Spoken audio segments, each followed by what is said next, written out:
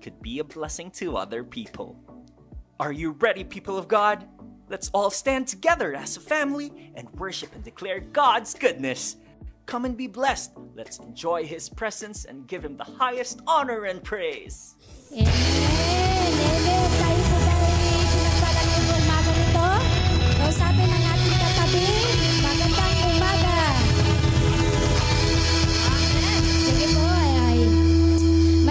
May ibahagi po ako ng verse na nasa awit. Puri, purihin si Yahweh, ngalan niya ay purihin kayong mga lingkod niya. To, kayong lahat na banal niyong templo'y pumasok upang doon manambahan sa banal na buhay ng Diyos. 3. Si Yahweh ay pinupurihin sapagkat siya ay mabuti sa taglay niyang kabaitan marapat na mapuri.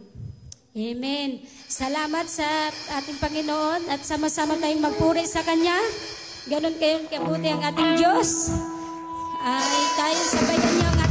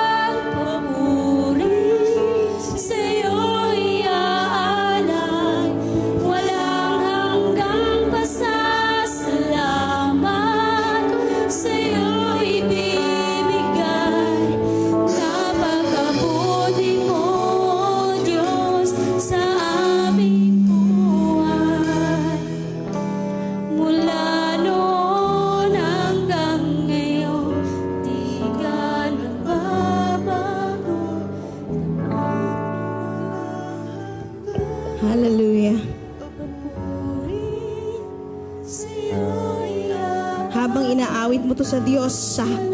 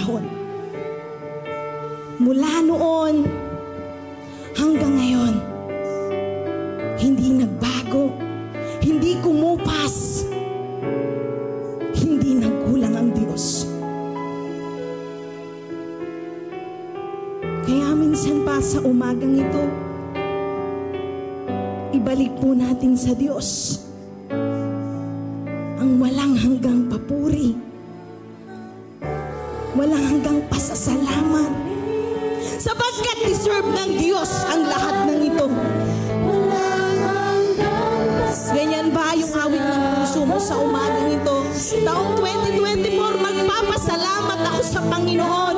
Luluhod ako sa Panginoon.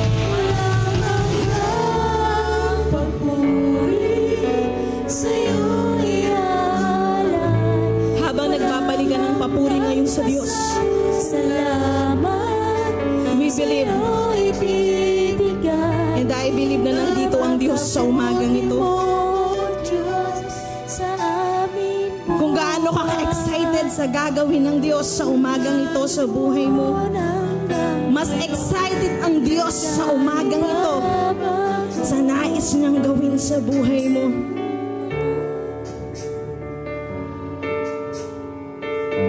Hinihintay po ng Diyos sa umagang ito na maging bukas ang puso natin. Tayo po ay muling susulong sa umagang ito. At sa Diyos na may dalang pagpapasalamat. At sa umagang ito, ano ba yung kaya mong ialay sa Diyos?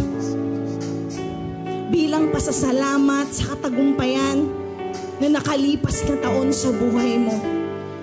Bilang pasasalamat na iningatan ka ng Diyos.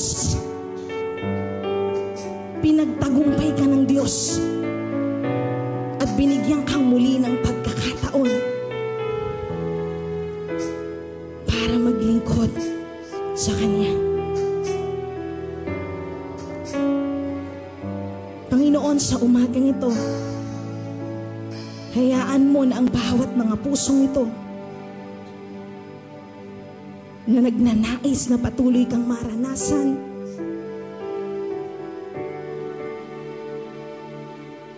Iparanas mo muli, Panginoon, sa umagang ito na ikaw ang Diyos na buhay sa iglesyang ito, Panginoon. Na ikaw ang Diyos na kakatagpo.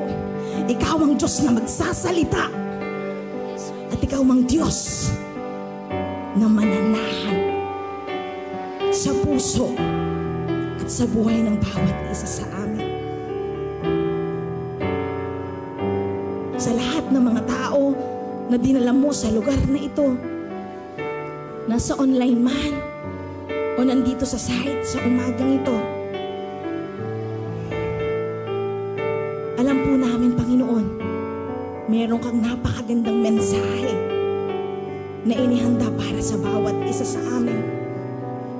Na simula, Panginoon, ng 2024,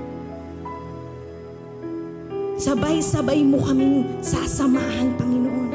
Sabay-sabay mo kaming ibabangon. Sabay-sabay mo kaming isusulong, Panginoon. Sa kung saan mo kami inilalagay, O Diyos. Ang panalangin ng pusong ito, Panginoon,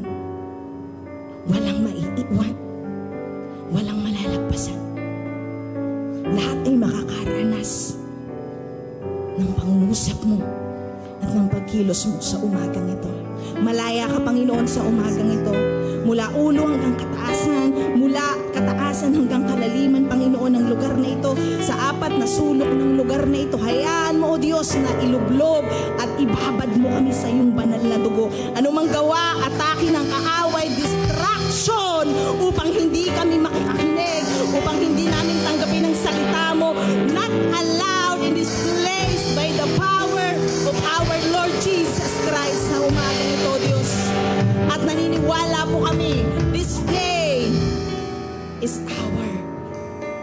victorious day from the Lord. Salamat po, Panginoon, sa umagang ito. Ang lahat ng kalwalhatian, pagdakila at pagsamba. In the name of Jesus, sabay-sabay po nating palakpakan ang Diyos na may-ari ng ating buhay. Amen. So, ah, purihin po ang Diyos sa umagang ito. Tayo po ba ay pinagpala ng Diyos? So, hindi ko po muna kayo papaupuin kasi New Year naman ngayon, no? To 2024. Sino po dito ang excited sa taong ito? Sino dito ang noong taong 2023, bago matapos ang taong 2023, ay nagpasalamat na sa Diyos sa lahat ng ginawa ng Diyos sa kanyang buhay? Share ko lang po, no? Ah, mabilis lang po ito. Nung, di ba tuwing ta- naghahati ang taon, ang ating ginagawa ay tayo ay kumakain, nag-aabang ng fireworks sa labas. Pero this year po, sabi ko nga sa Panginoon na hindi ako makikisabay doon sa mga nagpapaputok sa labas. Habang naghahati po ang taon, ako po ay nanalangin sa Panginoon. Nagpasalamat ako sa Diyos. At ang sabi ko sa Panginoon, looking forward 2024, kung paano mo pinagtagumpay ang iglesyang ito, kung paano mo pinagtagumpay ang bawat pamilya namin, ano kaya ang gagawin ng Diyos ngayong 2024 para sa bawat isa sa atin? At excited na po ba kayo sa umagang ito sa gagawin ng Diyos? So nabati mo na ba yung katabi mo ngayon ng maligayang bagong taon? Baka ngayon lang ulit kayo nagkita, niyan, di ba kasi Sunday, tas ngayon lang ulit. So may nagbago ba sa katabi mo ngayon? Marami nagbago. Meron bang nadagdagan ng timbang dahil saganang sagana? Oh, mukha pong tayong lahat ay pinagpala ng Diyos. Amen. So muli po isang masagana at matagumpay at mapagpalang taong 2024 sa bawat isa sa atin. Pwede po ba nating palakpakan ng Diyos?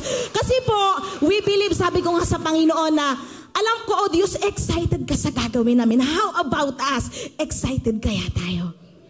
Amen. So talaga namang sa mga nakikita po natin sa umagang ito, 'di ba? Iba ang datingan kapag tayo ay nasa presensya ng Diyos. Amen. Sabi nga, yung iba, new look, yung iba, nag-iba. Pero alam ko po, ang pagmamahal ng Diyos, eh hindi nag-iiba. Lalong nadadagdagan. Amen. So, so sabi po sa Isaiah 43 verse 10, May all the blessing be of the Lord be yours in advance in the New Year. So ang lahat ng pagpapala, ang lahat po ng inihanda at kasaganaan ng Diyos, ready ka ba na i-claim sa umagang ito? Kasi yun naman ang pangako ng Diyos. Amen po ba? So, sa umagang ito, ang atin pong pag ang team po natin sa umagang ito, it's all about doon sa move. Move out and move forward. So, sino po dito ang ready ng mag-move on? Kasi yung team po natin, Dos Mates, move on and living the past. Handa mo na bang iwanan ang luma at harapin ang bago? Alam niyo po, natutuwa ako sa Panginoon kasi last year, ito rin yung topic parang about laging moving forward yung ibinibigay sa akin ng Diyos. Laging itong itong itong first Sunday, laging my word na move forward. And we believe hindi lang po ito para sa akin. Ito po ay para sa ating lahat. Amen. So sabay-sabay po nating basahin. Sabi po dito sa Deuteronomy chapter 1 verse 1 to 8, sabi po dito, verse 1, ito ang tagubili ni Moses sa buong Israel ng silay, nasa ilang sa ibayo ng Jordan sa Araba. Ito ay nasa sapat ng Sap sa pagitan ng bayan ng Paran, Tofel, Laban, Haserot, at Disahab. Labing isang taong naglak labing isang araw ang paglalakbay mula sa Sinai o Sinai. So tandaan 11 days hanggang sa Kades Barnea kung sa kabukiran ng Shir Daraan. Nang unang araw ng ikalabing isang buwan ng ikaapat na taon mula nang sila ay umalis sa Ehipto, sinabi ni Moses sa mga Israelita ang mga utos na ibinigay sa kanya ni Yahweh. Ano po kaya ang sinabi? Sabi po sa verse 4, nalupig na niya noon ang hari ng Amoreo na sina Sihon ng Hesbon at Og ng Bashan na nakatira sa Astarot at Edri. Ipinaliwanag ni Moses ang kautosang ito nang sila'y nasa lupain ng Moab sa silangan ng Jordan. Verse 6, ito po ang sabi, Nang tayo'y nasa Sinai, ganito ang sinabi sa atin ni Yahweh na ating Diyos. Matagal-tagal na rin kayong nakatigil sa bundok na ito. Verse 7, magpatuloy na kayo ng paglalakbay papunta sa kaburulan, tinitirhan ng mga Amoreo at sa mga karatig na lugar ng Araba, sa kaburulan, kapatagan, sa katimugan ng disyerto at sa baybayin ng dagat, sa makatuwid sa buong lupain ng Kanaan. At Lebanon hanggang sa ilog Euphrates. Sakupin ninyo ang lupaing ito na inihanda ko para sa inyo.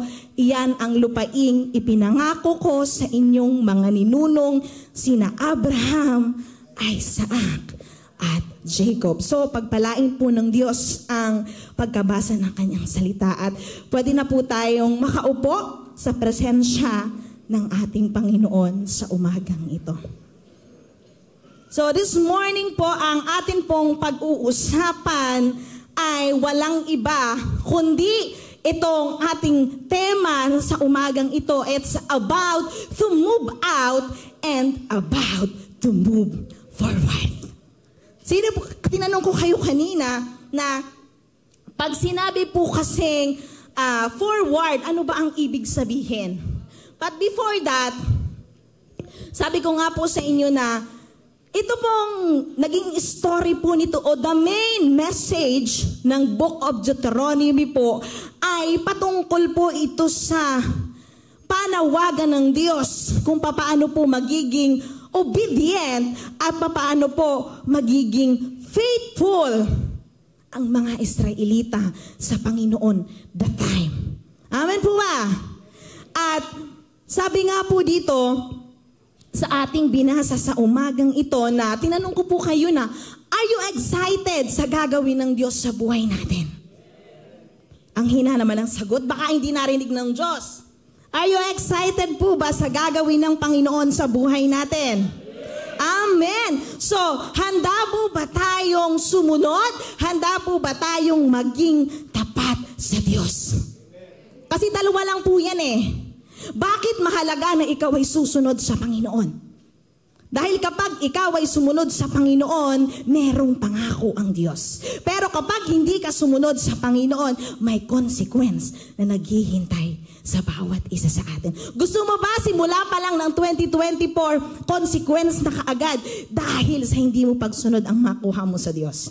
So ngayong umaga pong ito, tayo muna ay maglalakbay papunta ng, the, ng promised land. Sino po ba ang handang sumama sa akin? 40 years po tayong maglalakbay. Are you ready? 40 years, imagine niyo po yon. Ilang taon ka na ngayon? 40. Pag uwi mo, 80 ka na. Amen. So this morning po, sabi ko nga sa Panginoon na, grabe naman to mga taga-Israel na to, no? Kaya pala siyang lakarin at lakbayin ng 11 days. At nung sinerch ko po sa map, o nga ang iksi lang po nung, nung lugar. Pero bakit kaya sila tumagal ng 40 years? Meron po ba kayong possible na naging kaisipan? Bakit kaya? Eh pwede naman palang 11 days lang silang maglakbay. Imaginein mo na dagdagan ng 39 years yung kanilang paglalakbay. And this morning po, naniniwala po ba kayo na God has a good plan for your life? Sino po ang naniniwala dito? Tandaan niyo po na ayaw po ng Diyos na hindi tayo maging victorious sa taong ito. Ayaw po ng Diyos na tayo ay mamuhay sa dati nating buhay.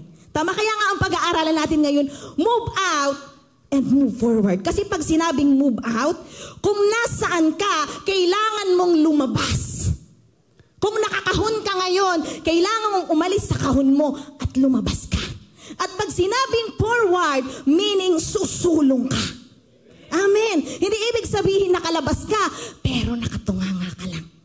Kaya sabi nga, ang gusto po ng Diyos at ang plano ng Diyos sa atin, tayo po ay hindi na mamuhay sa dati nating buhay. Tama? Hindi na po tayo mamuhay sa takot, hindi ka na mamuhay sa mga failure na mayroon ka before. At hindi ka na mamuhay sa mga consequence na dati mong naranasan sa buhay mo. Hindi ka mamuhay sa kahirapan. Hindi ka mamuhay sa sakit, sa brokenness, and sa laziness. Kundi ang gusto po ng Diyos na sa umagang ito ay mamuhay po tayo ng may pagsunod sa ating Panginoon. Amen! So this morning, mapapaisip ka ngayon, ano kaya ang ginawa nitong mga taga-Israel na ito? Bakit ba sila na-delay? Bakit ba ang tagal ng kanilang naging paglalakbay?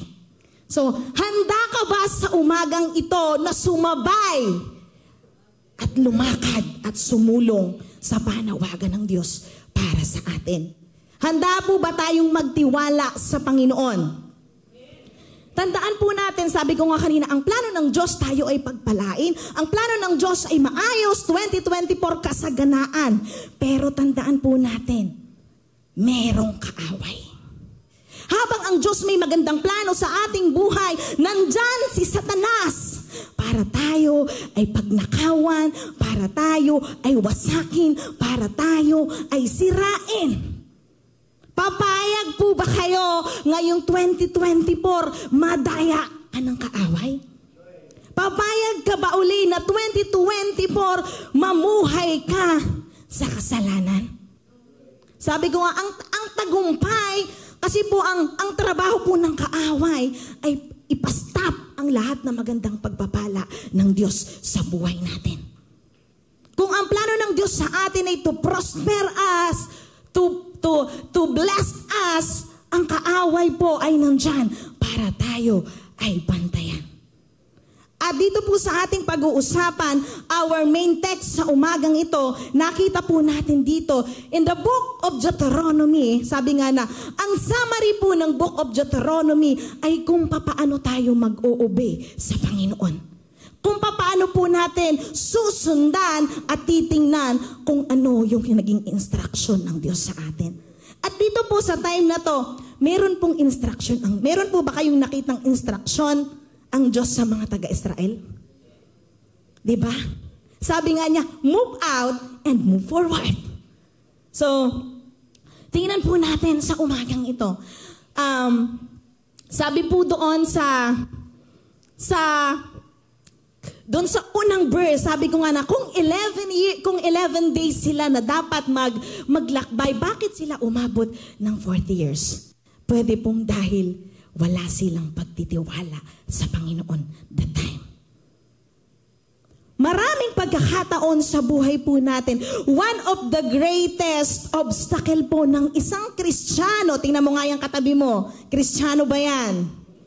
Sabi nga, one of the greatest obstacle po ng isang Kristiyano ay kapag siya po ay inisip niya na nandito na yung kanyang destinasyon.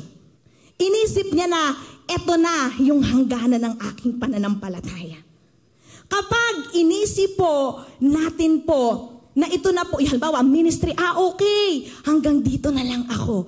Okay, satisfied na ako sa lahat ng ginagawa ko. Ang nangyayari po, wala pong advancement sa ating paglilingkod sa Panginoon. Nakukuha niyo po ba? Kapag ang isang Kristiyano po ay nasatisfy sa kung anong klaseng may paglilingkod, meron siya, nawawala po yung excitement na meron siya. Kapag ang isang Kristiyano, akala niya ay nakarating na siya doon sa destinasyon na pinalalakaran sa kanya ng Diyos. At ito po yung nangyari dito sa mga taga-Israel. At sabi po, ang unang puntos po natin dito, leave your Horeb. In the Old Testament po, ang Horeb po, another name po ay the Mount Sinai. At sabi po dito sa verse 6, The Lord our God said to us at Horeb, You have stayed long enough at this mountain. Matagal-tagal na rin kayong nakatigil sa bundok na ito. Yun ang sabi ni Yahweh sa mga taga-Israelita nung panahon na yon. Sigurong sa paglalakbay nito, mga taga-Israel na to, nawili sila. Naging nasatisfied sila at nakampanta sila na, Lord, okay na ako dito sa Mount Horeb kasi hindi mo ako ginugutom. Kasi pinagpapala mo ako. At kung titingnan po natin, ano po ba ang significant ng Mount Horeb in the Bible? Sabi po dito, ang Mount Horeb po in the Bible is another name for Mount Sinai, the mountain where the Hebrew people entered to the covenant with God after escaping from the bondage of Egypt. Ito palang Mount Sinai o ang Mount Horeb na tinatawag, ito po pala ang lugar kung saan eh nakipagtagpo ang Diyos kay Moses para magkaroon ng pangako at covenant na ang kanyang bayan ay ilalabas niya sa pagkaalipin. Israel sa pamahala ng Egypt. Isa pa po ang naging significant dito. The Mount Horeb is also a place where Moses received the Ten Commandments and the laws, rules, and instruction for the people before continuing their journey through the desert toward to the promised land. Ito po yun.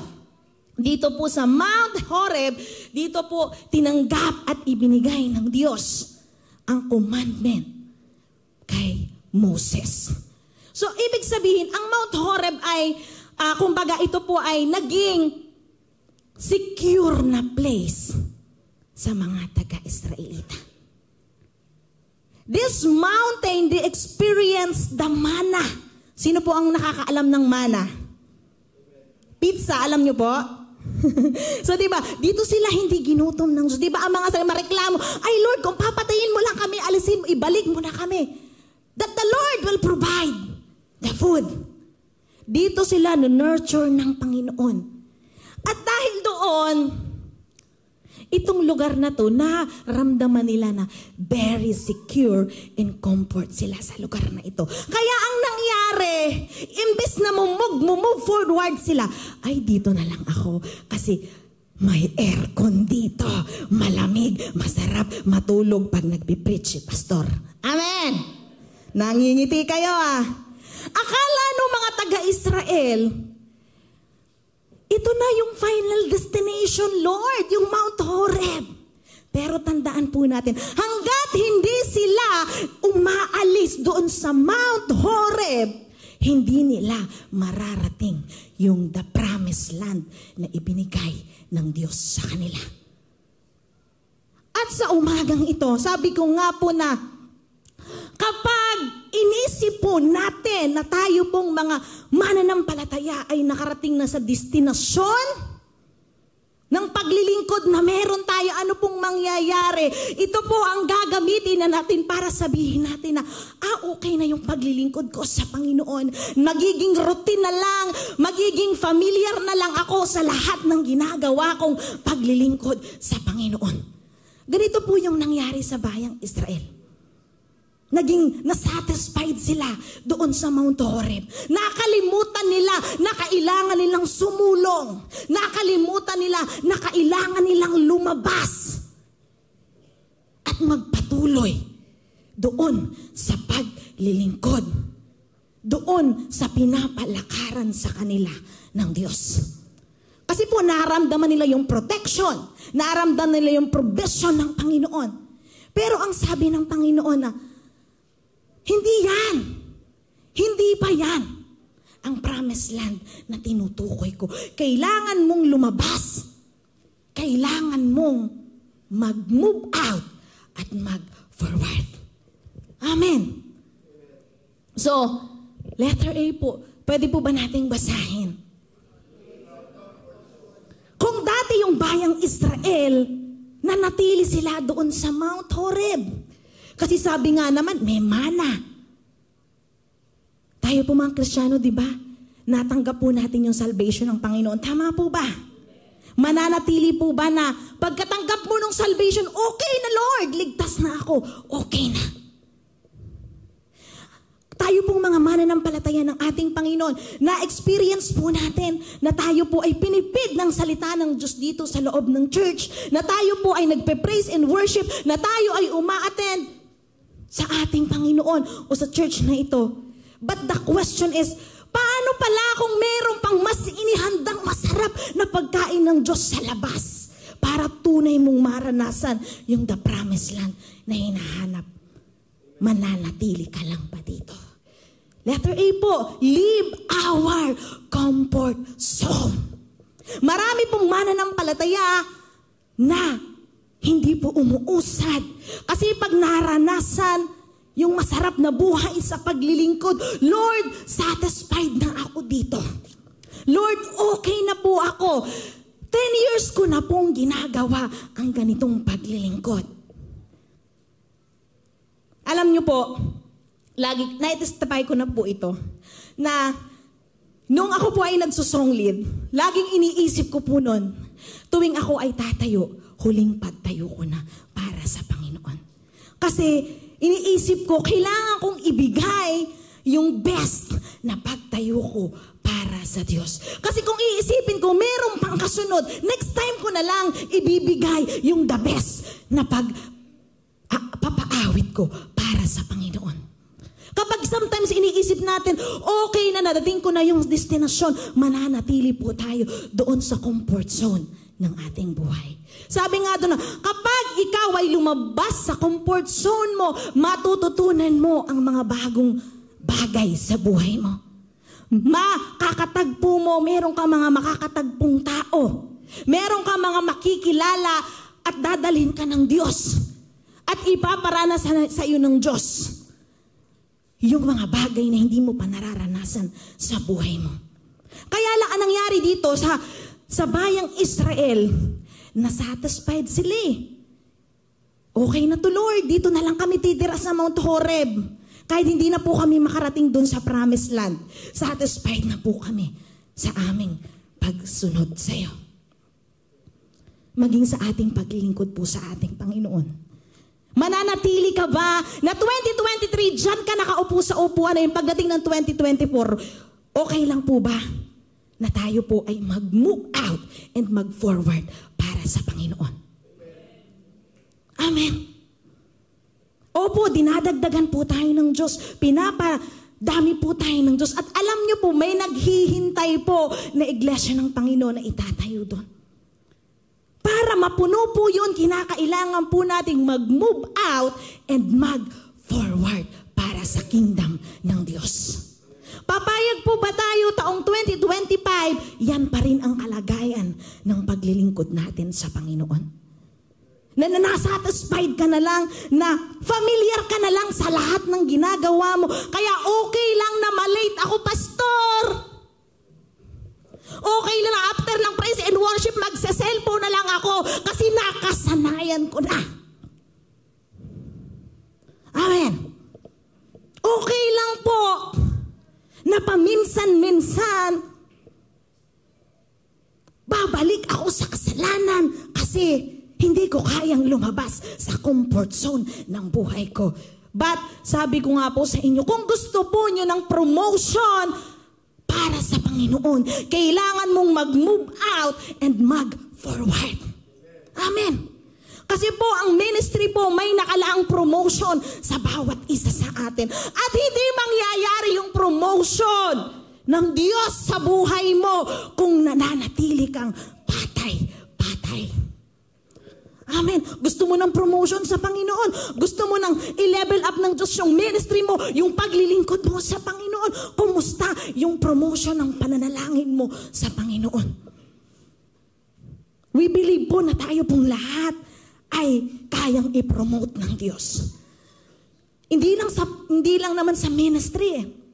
Family mo, kung, kung ano man yung dinidesire mo. But sabi po ng Panginoon dito, leave your comfort zone. Umalis ka dun sa nakasanayan mo. Ma-experience mo yung mga bagay na pinalalakaran sa iyo ng Diyos. Sino po dito ang handang humakbang at sumulong para sa panawagan ng Diyos? Amen. Palakpakan po natin ang Panginoon. Sabi po dito si Abraham, mabilis lang po ito.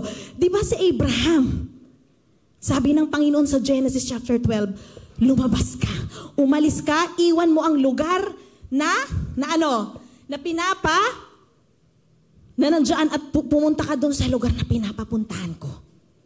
Ano pong ginawa ni Abraham? Nag-move forward siya. Nag-move out siya. Kasi kung hindi siya sumunod, hindi mangyayari na pagpalain siya ng Diyos. Yun ang kondisyon ng Panginoon eh. Na kapag lumabas ka, kapag sumunod ka, kahit hindi mo alam kung saan siya pinapapunta ng Diyos, ang ginawa po niya, lumabas siya sa comfort zone niya at sumunod siya. At ang sabi ng Panginoon, papagpalain kita, gagawin kitang ama ng lahat ng bansa. Nangyari po iyon dahil sa paglabas ni Abraham sa kanyang comfort zone at pagsunod sa Diyos. Isang example po dito, si Joseph. Si Joseph na sabi nga dun sa Genesis chapter 37, si Joseph na pinakamahal ng kanyang ama that time. Siya yung pinaka-special kasi siya yung bunso. Nung siya ay tawagin at may plano ang Diyos sa kanyang buhay, naranasan niya po na siya ipagbili, naranasan na siya ay makulong, hindi po naging madali yung buhay ni Joseph. Lumabas siya doon sa comfort zone ng kanyang buhay. At dahil po doon sa pagsunod niya, siya po ay naging gobernador at naging pagpapala siya sa kanyang pamilya. Amen. Minsan po kinakailangan nating kumawala sa ating kinasanayan. Kinakailangan nating umalis doon sa mga bagay na nakakapag-satisfied sa atin para hindi tayo lumago. Amen. Si Moses, si Moses na uutal-utal. Si Moses na ayaw magpagamit sa Diyos dahil wala siyang kakayanan. Pero, siya ang ginamit ng Diyos para makalabas ang bayan ng Diyos sa pagkaalipin sa bayang Israel. Nakita niyo po itong mga karakter na to. Si Jesus Christ. Dito po sa John chapter 13, kung papaano na hinugasan niya ang paa nung 12 disciple. Na pagamat siya Diyos, alam niya na mangyayari na siya ay mamamatay, siya ay pabayaran niya yung ating mga kasalanan. Pero siya ay Diyos. Binaba niya yung kanyang pagka-Diyos. Hinubad niya yung pagka-Diyos niya. At siya ay bumaba para sa atin. Pwede niya naman sabihin, sino ba kayo? Pero dahil umalis siya doon sa comfort zone, naabot niya po tayong lahat. At nagkaroon ng kaganapan. Yung buhay na meron po tayo ngayon.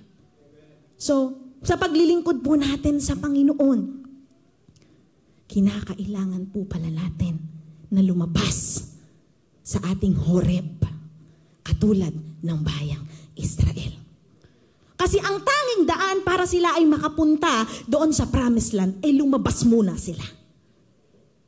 Paano yung mga promise ng Panginoon, yung promotion ng Panginoon na ibibigay sa iyo ng Panginoon kung laging ikaw ay nakakahon? Kung laging satisfied ka na? Kung laging okay na ako dito? Nakasanayan ko na to. Mamamatay ako na hanggang dito na lang ako. Kung gusto po nating mag-move out, kung gusto po nating mag-forward, leave our comfort zone. Amen. Pangalawa po, leave the past behind. Amen. Sabi ko nga kanina dito, moving on, leaving behind the past. Kung, kina, kung gusto mo pala yon, dapat tayo po ay kalimutan na ang mga nakaraan. Move out for our miserable past.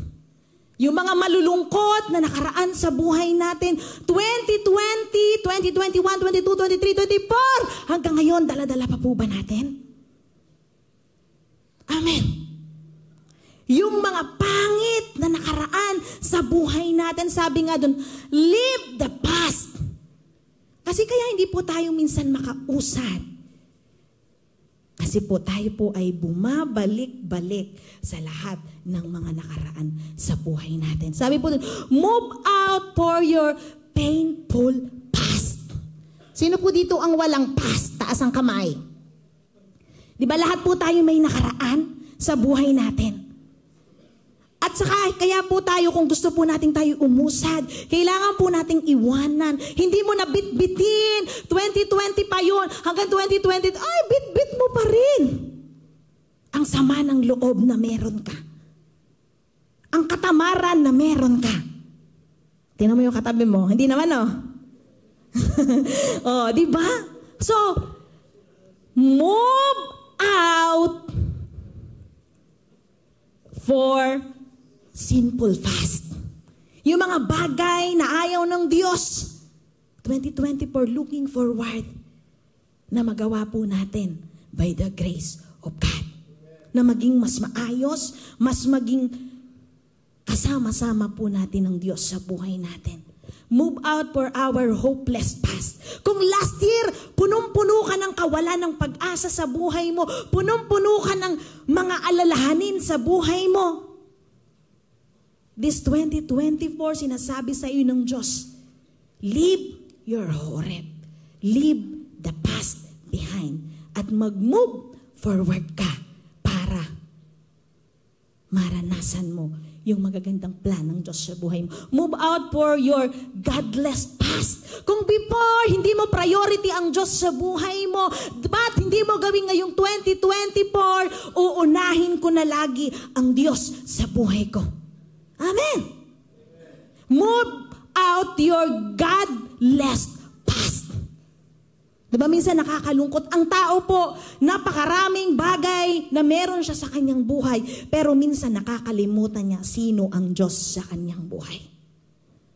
Sino ang Diyos na nagpapala at nagbibigay nito? Kung 2023 po nakakalimutan natin, ang mga bagay na ito. O kung noong 2023 pa ilan-ilan dito, bit-bit mo pa rin. Pero sabi ng Panginoon ngayon, anak, meron akong pangako sa iyo. Kaya lang bago mo makuha yung pangako na to, kailangan mo munang iwanan ito.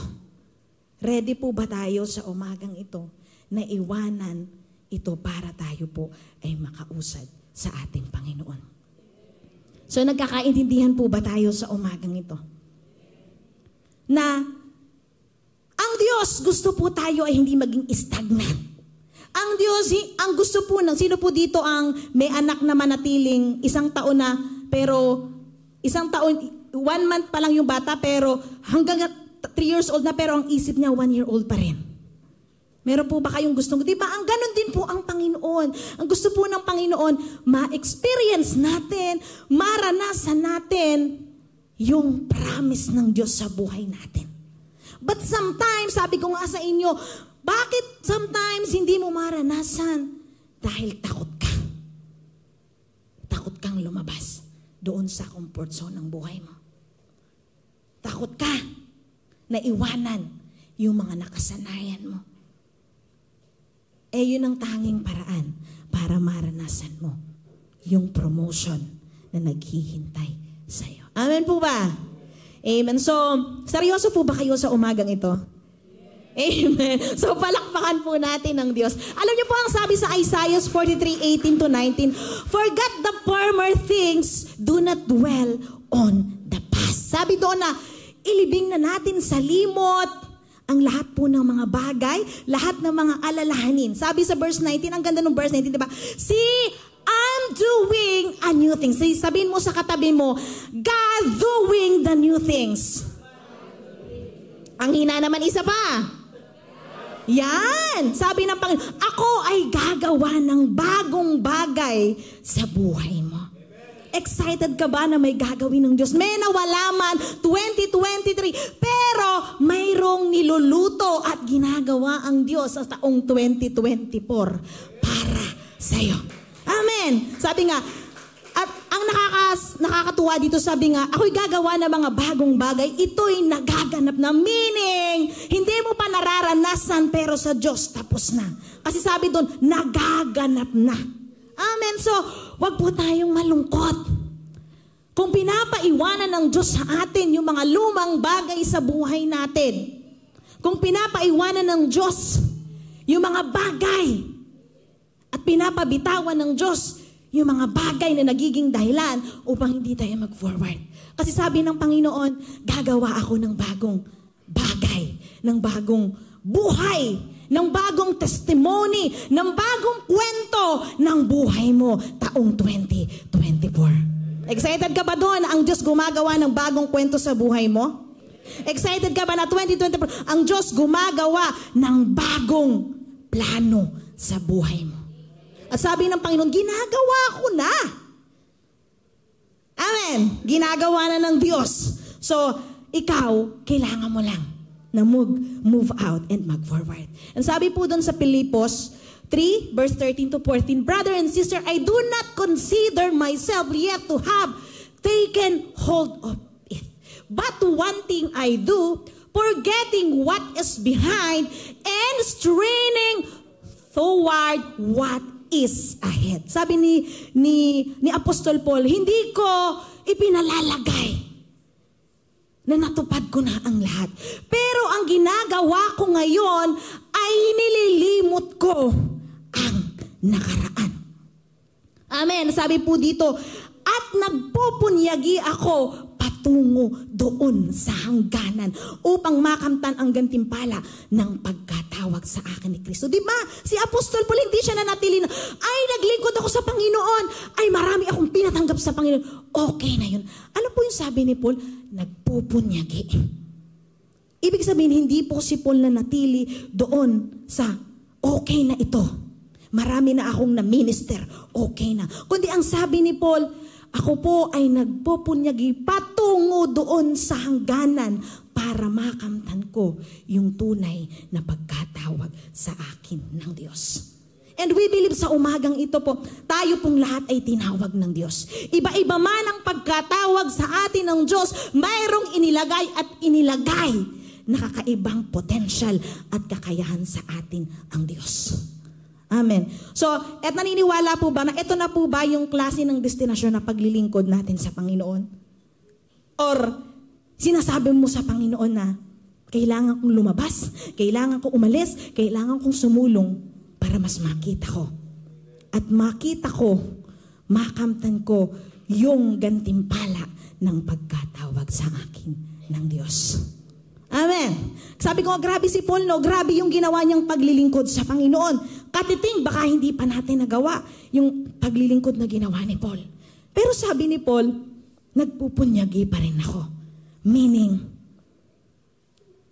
lagi niya pong gustong i-please ang Diyos sa bawat pagtayo at bawat paglilingkod na ginagawa niya sa Panginoon.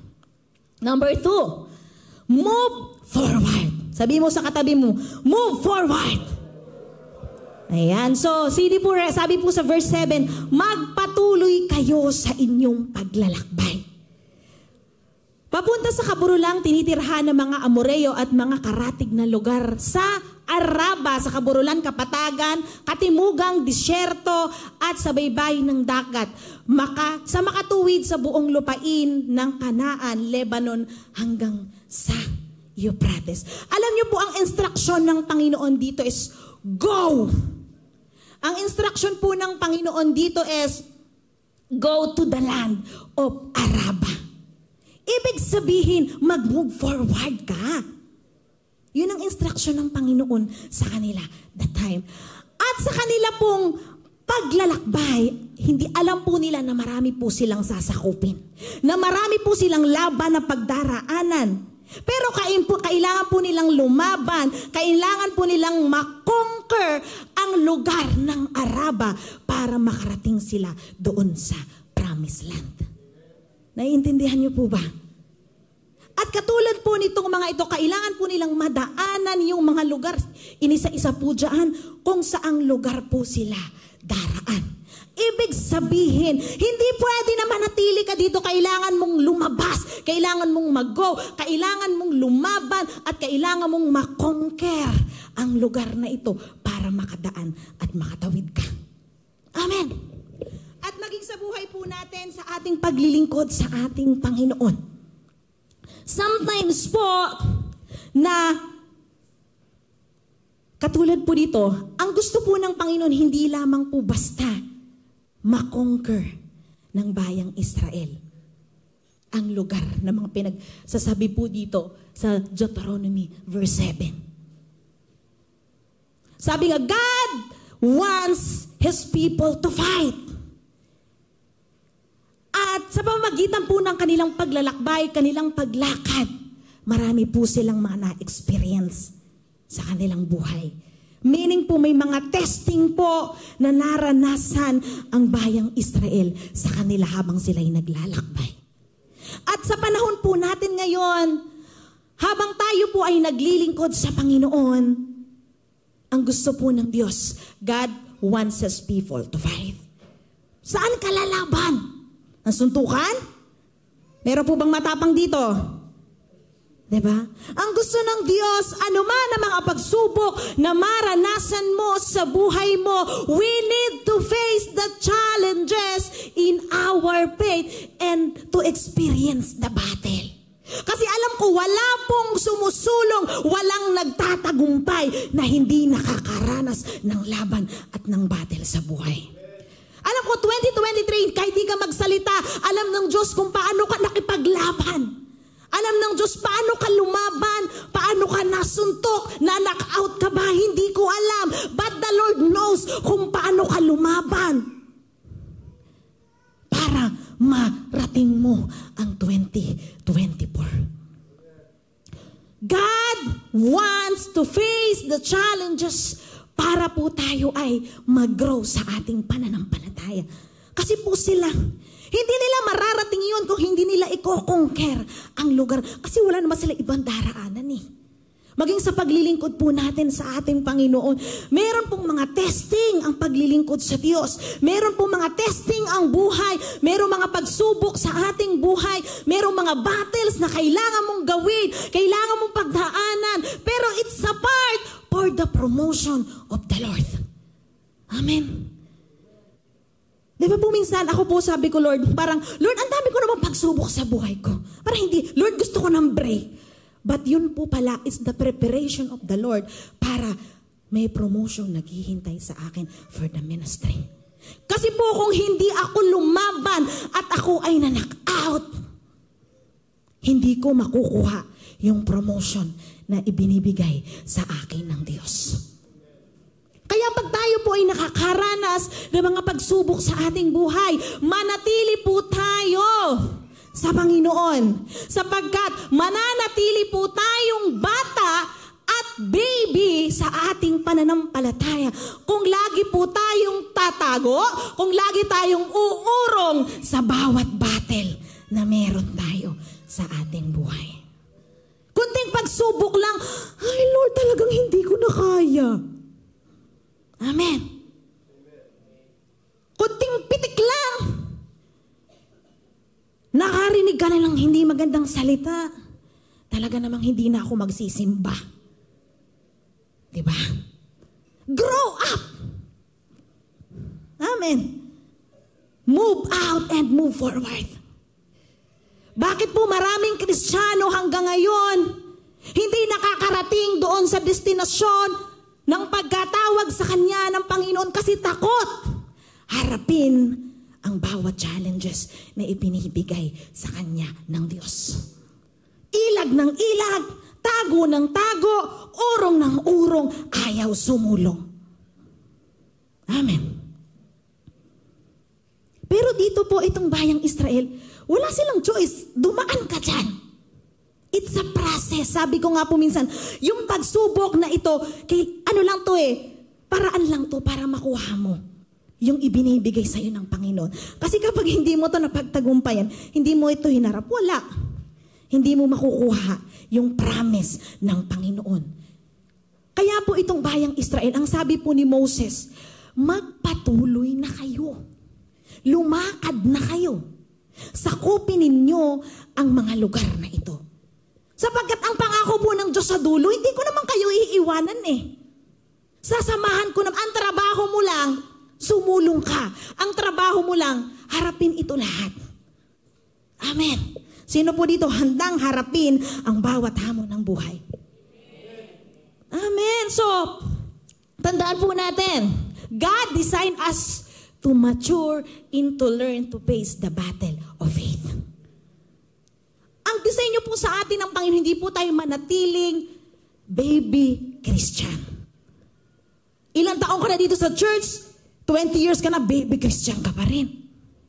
Ang gusto mo lang lagi, gatas. Pag ikaw ay nakorek ng pastor, talaga naman pastor, hindi na talaga akong mag-asimba-simba dyan sa inyo. Ganun po ba? Talaga naman, ano ba ang ginawa ko? Di ba po? Pero kung ikaw ay nagmamature, kung ikaw ay nagle-level up, nag-growing up, titingnan mo as sa positive way lahat ng yun para mag-grow ka at mag-mature ka para sa Panginoon. Kaya po ngayon 2023, kung dati, meron pa po ba dito matampuhin? May magtataas po ba ng kamay? Oy, wala na. Kaya 2024, tayo po ay uusad. Gusto niyo po ba yon? Na tayo po ay magmamature at anumang testing, battle, kaya po nating i-conquer. Kasi yun po ang pangako ng Diyos. Sabi nga, this, la, alam ko po ang lagi nating prayer, this 2024, maging mananagumpay tayong anak ng Panginoon. Maging uh, maayos at matagumpay yung buhay natin sa harapan ng Panginoon. At tandaan nyo po, magkakaroon lang po ng transformation at pagbabago yung dinidesire at hinahangad natin yon kung tayo po ay susunod at susulong doon sa pinapagawa ng Diyos sa atin. Mananatiling pangako ng Diyos yun hanggat at wala lang hanggat hindi po tayo sumasabay doon sa pinapagawa ng Diyos sa atin. Sabi po dito sa Ephesians chapter 6, verse 10 to 16, bilang pagwawakas, magpakatibay kayo sa kalakasang galing sa Panginoon at sa kanyang kadakila, dakilang kapangyarihan. Isuot ninyo ang buong kasuotang pangdigma nakaloob ng Diyos. So sabi ko nga, tayo po dito sa mundong ito, as a Christian, at katulad po uh, that time sa panahon ng Israel, marami pong digmaan. Literal, marami po silang pinagdaan ng digmaan. Pero tayo ngayon siguro namang walang pumupunta sa inyo para bombahin yung bahay nyo, no? Pero sabi dito na, upang mapaglabanan ninyo ang mga pakana ng Diablo. Sapagkat hindi tayo nakikilaban sa mga tao, kundi sa mga pinuno ng may makapangyarihan, sa mga tagapamahala ng kadilimang umiiral sa mundong ito, sa mga hukbong espiritual na kasamaan sa himpapawid. Kaya gamitin ninyo ang kasuotang pangdigma mula sa Diyos. Ibig sabihin po dito sa talatang ito, pinapaliwanag na bilang mga mananampalataya, hindi po tayo literal na nakikipagdigma. Ang labanan po natin ay spiritual. Amen. Paano kung hindi ka nananalangin? Sino ang babakod sa pamilya mo kapag inaatake ang pamilya mo ng kaaway? Meron po ba? Kaya ikaw, tayo po yung pinapaalalahanan ng Diyos na bilang mga mananampalataya, hindi po tayo exempted, hindi po tayo uh, past sa mga pagsubok. Kaya sabi ng Panginoon dito, isuot ninyong lahat. Ito, inisa-isa po dito hanggang verse 16, ang mga dapat po nating suotin para tayo po ay hindi magapi ng kaaway. Amen. Kaya tandaan niyo po, ang ating buhay po ay buhay labanan espiritual. Minsan hindi mo maaalala, grabe yung atake ng kaaway sa... Kaya pala, kasi wala kang sandata. Kasi hindi mo sinuot yung sandata, yung helmet, yung belt, yung sandals na ibinigay sa iyo ng Diyos. Kaya unang tira ng kaaway, bagsak ka kaagad. Amen. Kaya sabi ko nga po na, grabe po yung nagagawa ng panalangin sa pamilya. Kasi hindi po natin hawak at kontrolado. May mga pagkakataon sa buhay mo na inaatake pamilya mo, inaatake hanap buhay mo, inaatake. Pero kung walang luluhod at mananalangin, ano ang magiging panlaban po natin? Sino po ang babakod sa kanila? Amen. Kaya tandaan po natin, mangyayari at mangyayari po. Makukuha po natin at makukuha yung mga pangako ng Diyos. Kung mag-move out, mag-move forward ka para doon sa pinapagawa ng Diyos sa iyo. At kung susundan po natin ang story nitong bayang Israel, last na po, matatapos na po ako. Pangatlong puntos, claim the promises of God. Pagkatapos mong iwanan yung horeb, yung comfort zone sa buhay mo, yung mga negative things sa buhay mo, kinakailangan mag-forward. Pero merong, sabi ko nga sa inyo kanina, may pangako ang Diyos eh. Hindi naman sinabi ng Diyos, oh, pagkatapos mong lumaban, pagkatapos mong makongkar, tapos na. Bahala ka na. Hindi sabi po ng Panginoon, See, I have given to this land. Go take possession of the land the Lord swore He should give to your father, to Abraham, Isaac, Jacob, and to their descendant after them. Amen na. Nakita ko po dito sa verse, sabi nga dito, possess the land. Pag sinabing possess the land, ang kinin ninyo, sakupin ninyo. Diba po? So meaning po sabi ng Panginoon, pagkatapos niyong lumaban, pagtatagumpayin ko kayo at mapapasa inyo na yung sinasabi kong the promised land. Sino naniniwala dito na may magandang pangako ang Diyos sa Kanya year 2024? Ang hina naman, sinong naniniwala dito may magandang pangako ang Diyos sa Kanya 2024? Sabi ng Panginoon, claim the God promise. Possess the land promise ng Panginoon sa buhay mo. At mangyayari, sabi nga, He want them to possess all the promises ng Diyos sa buhay natin. Sino po dito may pamilya? Sino dito may kapitbahay? May katrabaho? Lahat po tayo, meron po nito. Sabi nga na ang pangako ng Diyos sa atin ay pagtagumpayin tayo. God doesn't want us to know how to be mature only.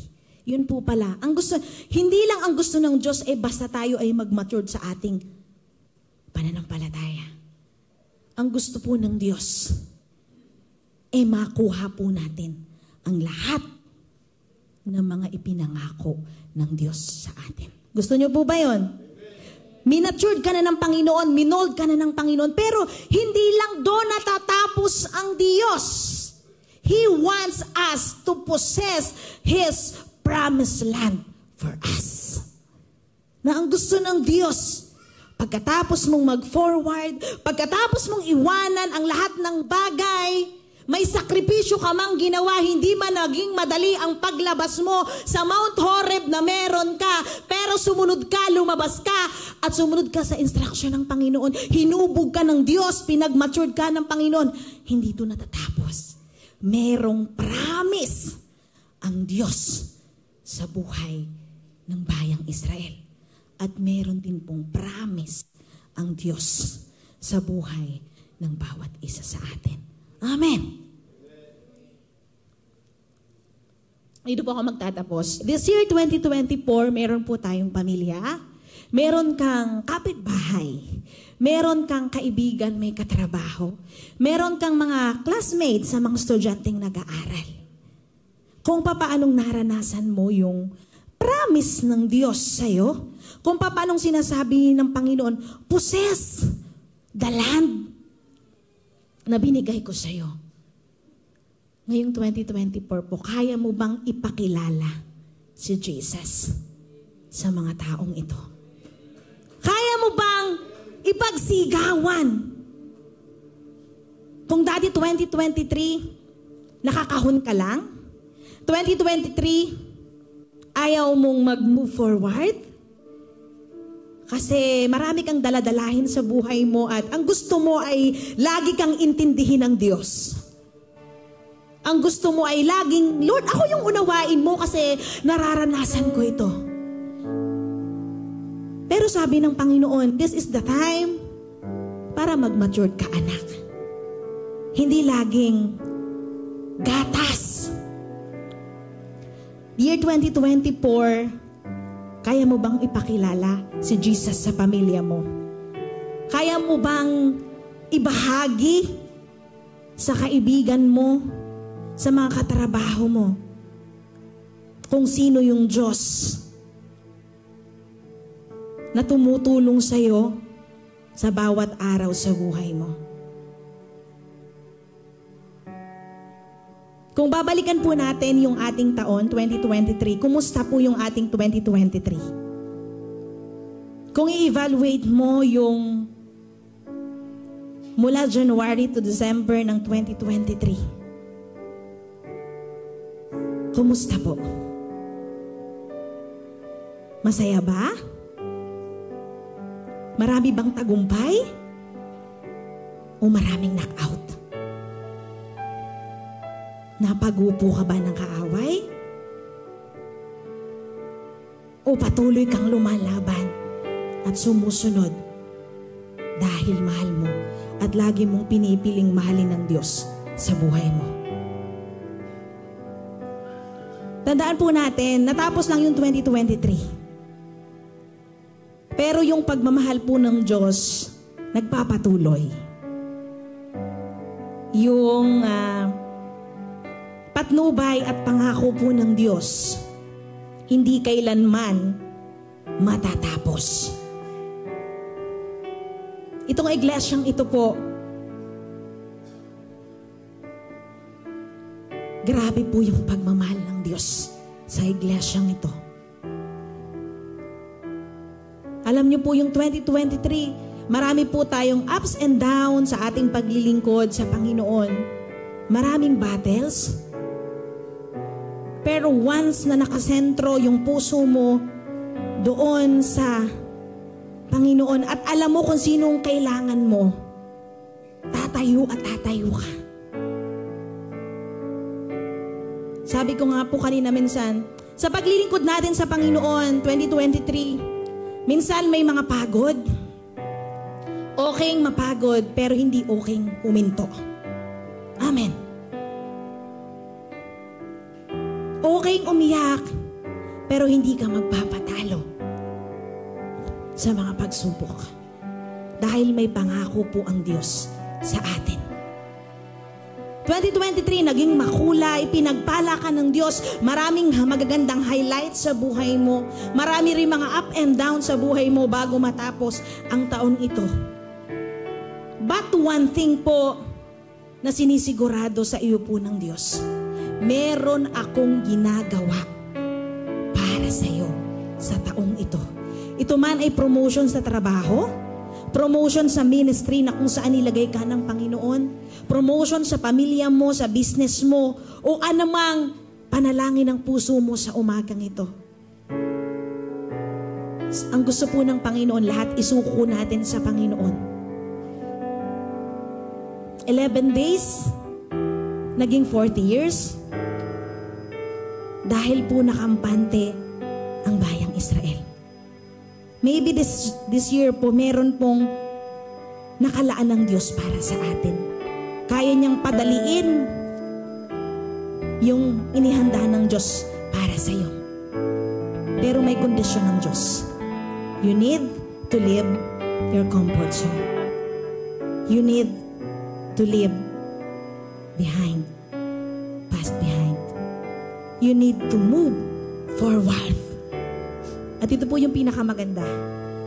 Sa lahat po ng inuutos ng Diyos, meron pong pangako sa dulo ang Diyos. Makakamtan mo lahat ng ito dahil kasama mo ako. Pwede po ba tayong tumayo sa umagang ito? Sabi po dun isa sa isang awitin na kailangan po nating mag-forward at magagawa po natin ito kung tayo po ay may totoong pagsuko sa Diyos sa lahat ng ito. Magagawa po natin ang sumulong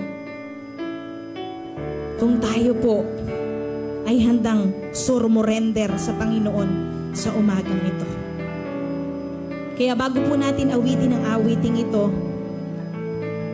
pwede po ba tayong magkaroon ng personal na prayer sa ating Panginoon sa umagang ito? Either yung covenant prayer mo sa Panginoon na, Lord, 2024, magmo-moving forward na po ako. 2024, susunod po ako sa iyo. 2024, mas magiging obedient po ako sa iyo, Panginoon. 2024, mas ilalaan ko po yung oras at panahon ko para sa iyo. Alam niyo po sa umagang ito, wala po tayong ibang kailangan kundi ang Diyos, kundi si Jesus sa buhay natin. Magagawa natin lahat ng ito kung kasama po natin ang Panginoon sa buhay natin. Kaya po ngayong umagang ito, simulan po natin ang 2024 ng may pagpapasalamat sa Diyos. Ano ba yung mga bibitawan mong pangako sa Diyos ngayong 2024 para makausad ka? makasulong ka. Nakikinig po ang Diyos sa umaga nito. Personally, kausapin mo ang Diyos. Kung napapagod ka, kung napagod ka last year, ibigay mo po sa Diyos. Bitawan mo ang mga bagay na nagpapahirap sa iyo.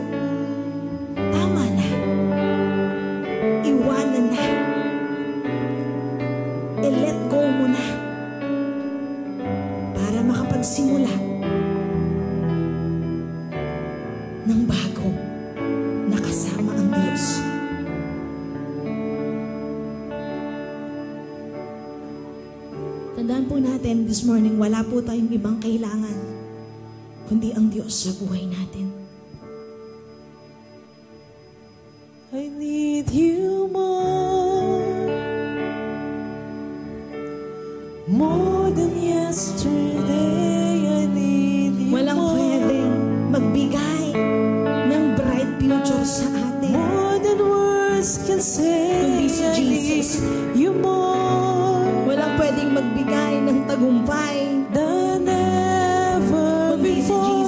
I need you, Lord.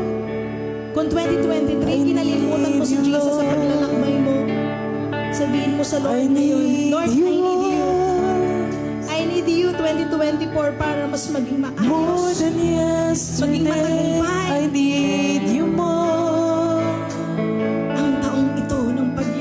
sa'yo. More than words can say,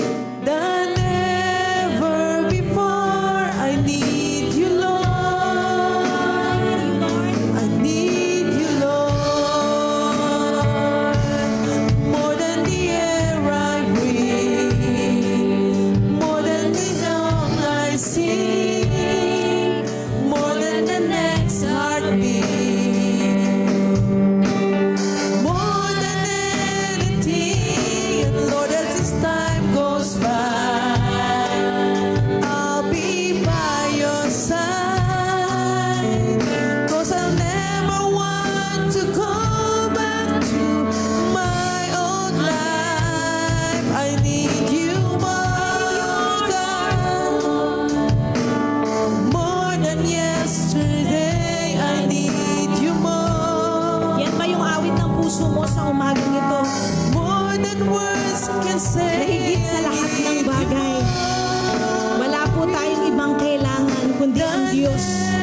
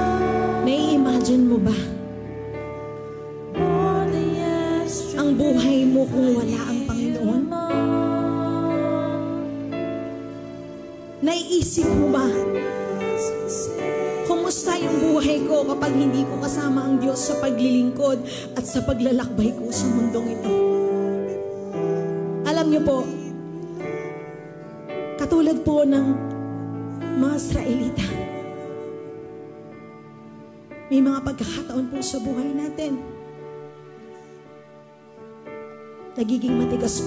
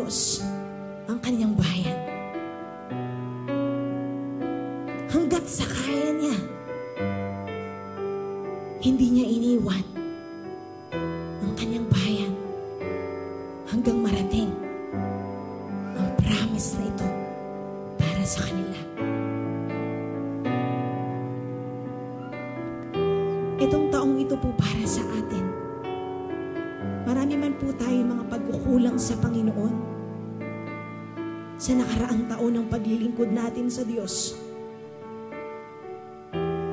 Marami man po tayong mga immature action and attitude sa harapan ng Diyos. Hindi po tayo iniwan ng Diyos. Inalalayan tayo ng Diyos para makarating tayo ngayong 2024. Inakay ka ng Diyos. Kinalo Diyos.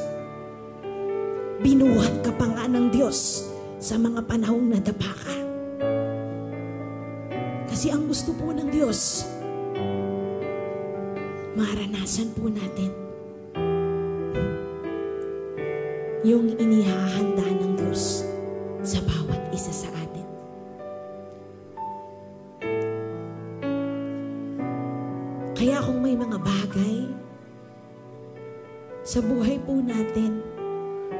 sinasabi ng Diyos, Anak, live. Kailangan mo nang bitawan ngayon. Huwag mo nang dalhin ulit. Katulad ng nakaraang taon, mapapagod ka lang. Masasaktan ka lang ulit. Mahihirapan ka lang ulit.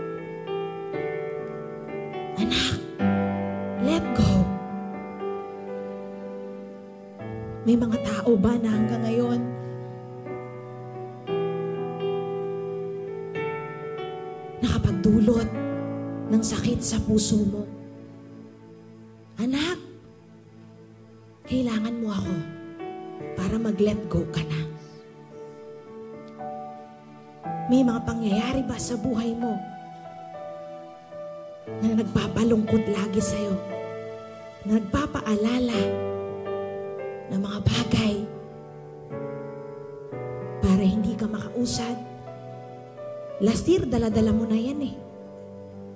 Sabi ng Panginoon, baka pwede naman ngayon magpatuloy ka. Nabibitawan mo na yan. Sakit at karamdaman ba yung dala-dala mo? Ilapit mo sa Diyos sa umagang ito. Katulad po ng pangako ng Diyos. Lahat ng pangako at pangako ng Diyos mangyayari at mangyayari sa buhay natin. Last year, marami kang nagdaan ng mga pagsubok sa buhay mo. Pero tingnan mo hanggang ngayon, nakatayo ka pa rin. Marami kang pinagdaan ng laban sa buhay mo. Duguan ka pa nga eh. Durug-durug ka nga last year eh. Pero nag, di ka ba nagtataka? Nakakatayo ka pa rin ngayon dahil sa Diyos. Inaangat at inaangat ka ng Diyos dahil merong magandang plano sa iyo ang Diyos. Kaya anuman ang mga pagsubok na pinagdaanan mo, tandaan mo ito ay isang achievement. Na nalampasan mo ang lahat ng ito dahil sa biyaya at habag ng Diyos. And before we end this prayer,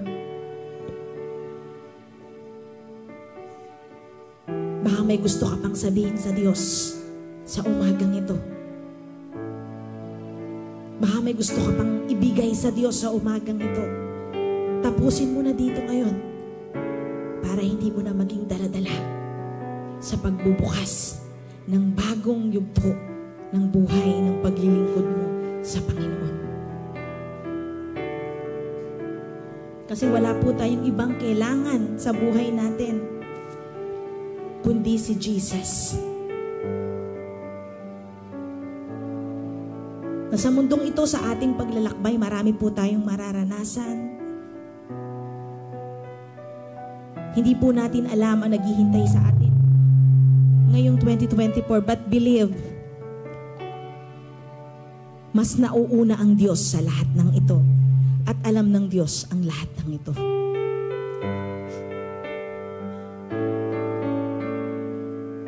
Kung nasabi mo na lahat sa Diyos, ang gusto mong sabihin, ipagpasalamat na ipagpasalamat mo na ba sa Diyos ang mga gusto mong ipagpasalamat sa Panginoon? Naging grateful ka ba? Sa lahat ng ginawa ng Diyos sa buhay mo?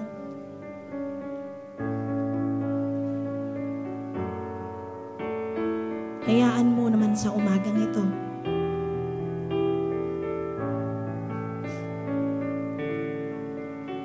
Na muling punuin po tayo ng Diyos.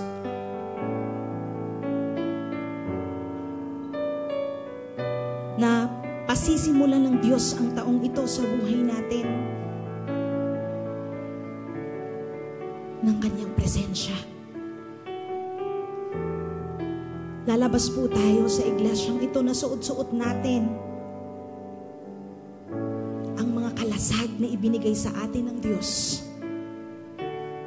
Para anuman ang patibong, ang atake ng kaaway, sabi po sa Ephesians 6, chapter 10 to 16, isuot po natin ang kalasag na nagmumula sa Diyos.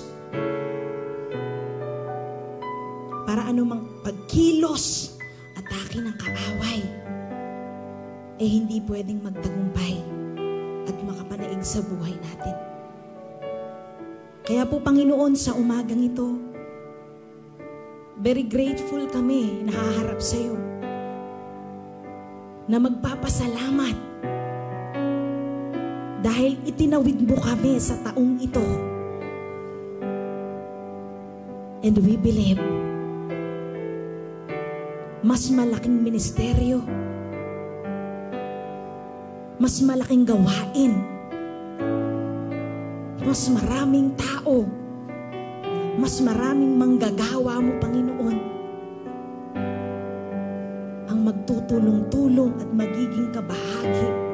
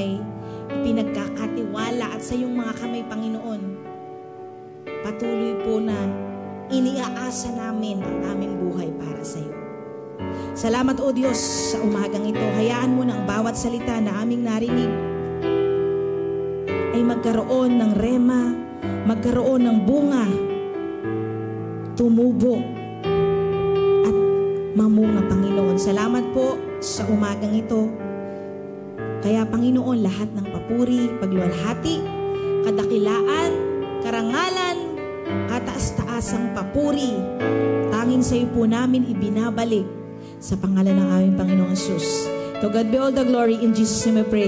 Amen and amen. are looking forward to see you again next week. We pray that you have been blessed today. Remember that our Sunday service starts at 9 o'clock in the morning, and we also have our online Global Sunday service at 9 o'clock in the evening, here in our Global Facebook page. Every Wednesday, we have Wonderful Life Family Matters at 8 p.m. This one goes to all the youth out there. Feel free to join us on our online Gimmick Tambayan every Friday at 8 p.m. on our Youth Gimmick Facebook page. Do you have any prayer requests? Do not hesitate to send us a message or approach any of our usherettes. We would love to pray for you. To all of our mentoring, please like our Facebook